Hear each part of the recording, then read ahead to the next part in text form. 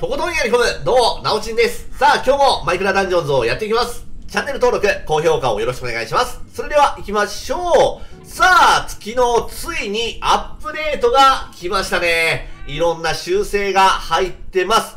今日は、修正された箇所を発表していきたいと思います。で、まだね、分かってないこともあります。なので、とりあえず分かってる分だけ、えー、やっていきますね。では、武器からいきます。えー、武器もね、いくつか修正箇所が入ってまして、まずはこれ。邪悪な村人の破滅。そして、強打ですね。えー、村人とかゾンビへのダメージが増えるエンチャントなんだけども、これが、ダメージ5%上がりました。威力が5%上がって、まあ若干使いやすくなったというところですかね。でも使うかどうかはちょっと微妙なところです。そして、怒りですね。怒りは強かったんだけども、これはね、弱くなりました。でも、若干だね。えー、前はダメージが310万ぐらいあったんですよ。それが、えー、286万。えー、だいたい20万ちょっと、ダメージが下がりましたね。20万ちょい。でもまあ、全然、えー、使っていけるのではないでしょうか。毒ダメージも、えー、昔のまんま、えー、かなり強いやつがついてるので、まあ、威力が20万減ったからといって使わない人が出ることはないでしょう。まあ、未だに上位の強さを持つ、えー、武器ではないでしょうか。そしてね、一番大きな、えー、変更があったのが、これ。刀ですね。刀が、えー、攻撃力が下がりました。威力が下がった。えー、昔は、最大ダメージが190万あったのよ。190万。それが、150万まで下がってます。えー、40万下がったのかな。で、最小ダメージはそんなに変わってないです。100万ぐらい。うん。最大ダメージが40万ぐらい減ってます。そして、減った代わりに、攻撃速度が、えー、倍ぐらい上がってます。攻撃速度が倍。えー、実際これが、キノコ使ってないんですけども、昔はキノコ使って、これぐらいの速度だったんですよ。うん。速度が倍ぐらい速くなってます。キノコを使うと、これぐらい速く振ることができるので、えー、刀はね、かなり強くなったのではないでしょうか。威力は減ったけどね。威力は減ったけども、えー、攻撃速度が上がって、結果的に強い武器に変わったと思います。これはね、今後ちょっと使っていきたいかなって思いますね。そして、続いては弓ですね。弓もいっぱい来てます。まず、バブルバースター。えー、バブルの弓。この二つですね。無敵バブルビルドが終わりました。えー、無敵バブルでワンパンして倒すっていうのができなくなりましたね。でもまあ、威力はそこそこ高いので、まだまだ使っていける装備ではないでしょうか。まあ、ワンパンはね、できなくなっちゃいましたね。それはちょっと残念。そして、えー、俺の大好きだった最強武器。えー、無限ダイナモですね。貫通とダイナモを入れて、雷の矢筒を打つと、えー、無限にダイナモが打てるっていう、えー、仕様だったんですけども、これが修正されて、ダイナモが、えー、消費されるようになりました。うーん、無限ダイナビルドはね、本当に好きだったんだけども、やっぱりか、修正されました。異常なほど強かったもんね。まあ、これはものすごい、残念ですけども、うーん、ちょっと仕方ないところですかね。えー、そして、次の修正点が、まあ、これ弓だけじゃなくて、えー、武器にもあるんだけども、流れ込む魂ですね。えー、流れ込む魂の回復量が増えたのかな？確か増えたと思います。前は最大で6%だったと思うんですけども、これが8%。になってますね。まあ、全体的に4%、6%、8%と、えー、回復量が増えたと思います。確かね。うん。これはちょっと確実じゃないんだけども、か、増えたと思う。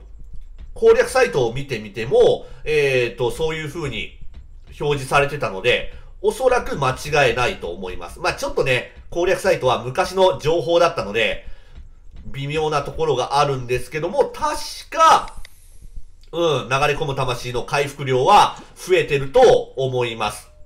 で、あー、ちょっと消えちゃったな。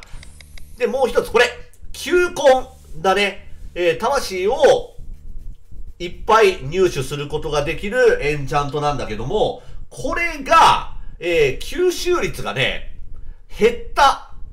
減りました。えー、135なんですよね、今が。で、えー、アップデート前が、確かね、246だった気がするのよ。246。なので、若干、えー、魂を吸収しづらくなったのかなっていうところですね。うん。まあ、そんな使うことはないかもしれないんですけどね。一応、球根変わりましたね。そして続いては防具ですね。防具もいくつかあって、えー、一番俺が嬉しかったのはこれですね。無謀。無謀が、えー、強くなりました。前は HP が60%減ったんだけども、40%に軽減されてます。なので、263の防具につけても、まあ、251と変わらないぐらいの HP が残るので、使いやすくなったよね。そして、えー、ダメージも増えてます。前は80%だったんだけども、90%。まあ、10%増えたっていう感じですね。まあ、これはね、うーん、120%ぐらいまで俺は増えてもいいんじゃないかと思うんだけども、まあまあまあまあ、えっ、ー、と、いい修正だったのではないでしょうか。HP40% の、えー、近接ダメージが90%アップとなってます。これは良かったね。そして次はこれですね。魂の袋です。えー、これもね、あのー、追加の魂が増えたような気がするんですよね。前の最大値は100%だったと思うんだけども、これが150%。まあ、余計にね、魂を、えー、ストックしとくことができるようになったと思います。確かね。うん、間違いないと思うんだけども、昔は最大100%、それが150%まで増えてます。そしてこれですね、変更。変更も、確か、最大発生率が60%だった気がするんですよね。60%で跳ね返したような気がするんだけども、45%に減ってる。うん。前はね、半分以上は跳ね返してたんだけども、もう半分も跳ね返せなくなった感じですかね。うん。まあ、この15%っていうのが結構でかいような気もします。うん。変更がね、ちょっと使いにくくなった感じですね。そして、この修正もちょっと痛い。影の突撃だね。これが、えーと、モブ1体あたり、昔はね、最大24個だったのよ。24個魂を吸収したんだけども、16個に、えー、下がってます。まあ、確かに、えー、だいぶ吸収してたのよね。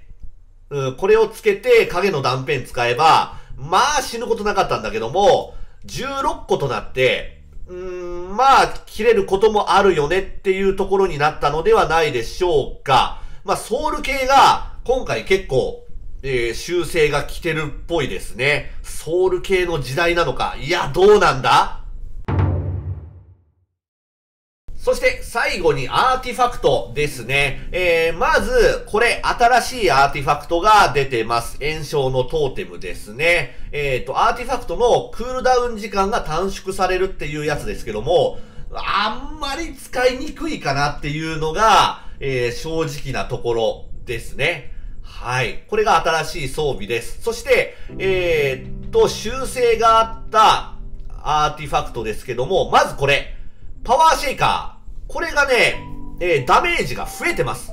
前は、えー、っとね、最大でも100万ちょいだった。それが220万、まあ228万になってるんだけども、まあ倍ぐらいに、えー、パワーシェーカーのダメージが増えた感じですかね。パワーシェーカーは強くなってます。で、そして、これも強くなったね。ガーディアンの目。昔は80万ぐらいのダメージだったんですけども、これもダメージが倍になってます。160万。でも、使えないんだよな160万にダメージ上がったとしても、そんなに強くはないです。そしてこれ、えー、地雷ですね。ダメージが増えてます。えー、500万だね。251で500万のダメージがあります。前は、確か100万、いや、100万なかったよね。だってこれのダメージを受けて、えー、HP を減らしてタワーに入ってたんで、500万だったらワンパンで死ぬもんね。なので、確実にダメージが上がってると思います。これはね、多分、5倍か6倍ダメージが上がってるんじゃないかな。うん、おそらくそれぐらい上がってると思います。そして、地雷が、えっ、ー、とね、自分でね、踏んでもダメージがないようになりました。前は自分で踏むとダメージ受けたんだけども、自分で踏んでもダメージを受けないようになってます。そして次はこれですね、アップドラフトの章。だけども、これもちょっとね、うる覚えですいませんけども、ダメージが増えてると思います。これ480万も確かダメージなかったと思うんで、これが増えて、で、あのね、最大ターゲットが昔は6だった気がする。最大ターゲットが減る代わりにダメージが上がった。なんかそんな感じだと思う。すいません。これはちょっとうる覚えです。そしてこれは強化されましたね。えー、雷の杖ですね。ダメージが、えー、678万。かなり、えー、ダメージを与えれるようになってます。そして、えっ、ー、とね、ソウルがあんまり使わなくなったんだよね。昔は結構ね、5リットソウル減ったんだけども、えー、そんなにソウルが消費されなくなって、えー、使いやすくなったと思います。いや、でも、うーん、どうなんだろうね。600万。ソウルフォーカスを入れて、えー、どうだ？256でソウルフォーカス入れると1000万超えるかなぐらい。うーん。まあ前よりは使いやすくなったけども、実際のところ、どうでしょうかね。